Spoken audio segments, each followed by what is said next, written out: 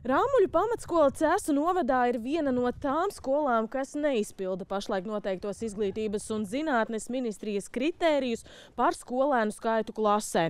Visā skolā pašlaik mācās 65 bērni, un ar to nepietiek, lai saglabātu valsts finansējumu pilnā apmērā. Skolēnu skaits mācību iestādē ir stabils, bet ar to nepietiek. Rāmuļu skola ir vispār izglītojoša pamatskola, kas īsteno arī speciālās izglītības programmu bērniem ar garīgās attīstības traucējumiem. Jēkabam šī ir otrā skola. Mans bērns ir ar autiskā spektra traucējumiem, ar augstu intelektu. Un viņam ir iespējas izaugt par viņu gudru, attīstītu, veiksmīgu, pastāvīgu cilvēku, bet tikai tajā gadījumā, ja viņam tiek nodrošināta tā izglītības vide, kurā viņš mierīgi var apgūt. Henrieta ar dēlu dzīvo blakus Cēsu pilsētas skolām, bet brauc uz rāmuļiem, jo nevar iedomāties, ka viņas dēls varētu mācīties liela izmēra klasē. Lielā klasē pieņemsim, ka tie ir 30 bērni. Uh, un pat ja pedagogam ir palīgs, tad um, vienalga tie bērni ir daudz, ir visu laiku fona troksnis, nav telpa.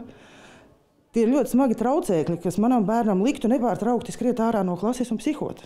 Viņš ir pieradis pie miera, viņam šis miers iekšējais ir vitāli nepieciešams izdzīvošanai. Apmēram puse skolas audzēkņu šurp brauc no cēsīm, un daudziem, tāpat kā Jēkabam, šī nav pirmā un citiem pat ne otrā skola. Diemžēl šī mums ir trešā skola Cēsu novadā.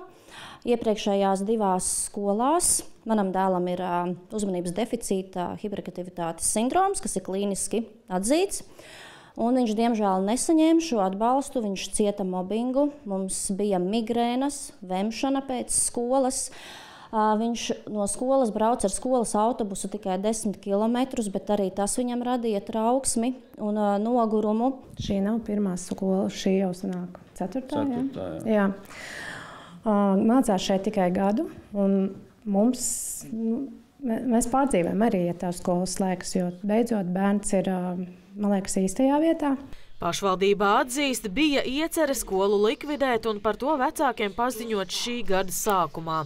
Lēmumu bija doma pieņemt februārī, bet tagad skaidrības vairs nav nekādas.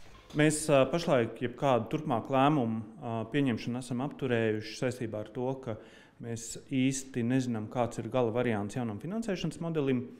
Un kāpēc mēs to esam apturējuši? Tāpēc, ka uh, Rāmļu skola nav viena pati. Mūsu novadā ir vēl virkne izglītības iestāžu, kurām jāmeklē risinājums. Lēmumu pieņemšanu vēl vairāk sarežģīja ministrijas piedāvājums sakārtot skolu tīklu un saņemt pedagoģu algas tādas, kā paredz jaunais modelis, vai vēl gadu palikt pie vecās sistēmas. Cēsu novadā vairākas skolas ir ar samērā nelielu skolēnu skaitu, bet to uzturēšana dārga. Piemēram, par Rāmuļu skolu gadā pašvaldība maksājot ap 283 tūkstošiem eiro, valsts mērdotācijas ir ap 168 tūkstošiem eiro gadā. Vēl skolai esot vajadzīgs remonts. Mēs saprotam, ka ir bērni, kur lielajās klasēs nevar iekļauties. Mēs to lieliski pieņemam, un tas, tas ir, tas ir vērā ņemams arguments. Un pašvaldībai esot pat trīs alternatīvas - skola Drabešos, Bērzainas pamatskola Cēsīs un vēl Aleksandra Bieziņa Raiskuma pamatskola, kur īsteno tieši speciālās izglītības programmas. Tiesa pagaidām pašvaldība ar galīgo lēmumu vēl nesteigšoties. Vita Anstratīvans Milovs, Latvijas televīzija.